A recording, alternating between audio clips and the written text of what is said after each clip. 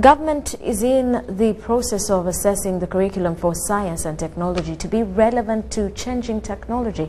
At the inauguration of three electronic learning platforms, the Minister for ICT, Frank Tumwebaze, said government will harmonize with Curriculum Development Center to fit the curriculum with the moving times. He was at the International Business Science and Technology University, ISBAT.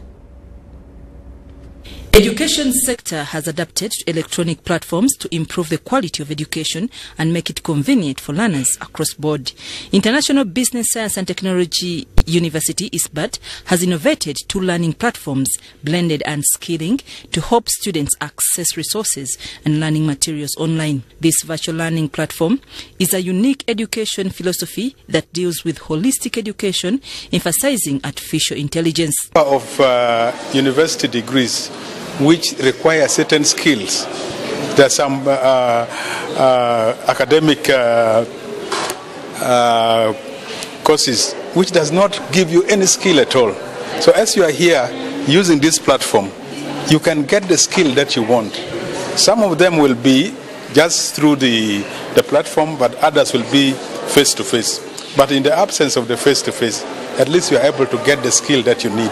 Inaugurating the innovations, the Minister for ICT, Frank Tumwebaze, said education should prepare a child to be innovative. You, you saw my ministry, supported by the President, we launched the fourth industrial task force, where different university professors are part of.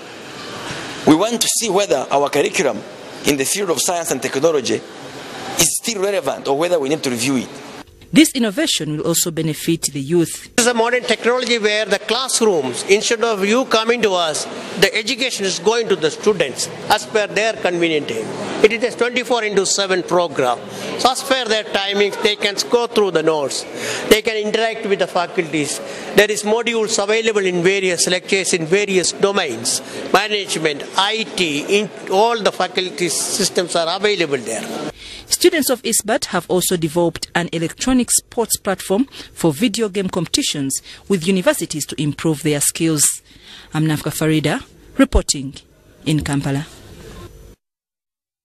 Is the leading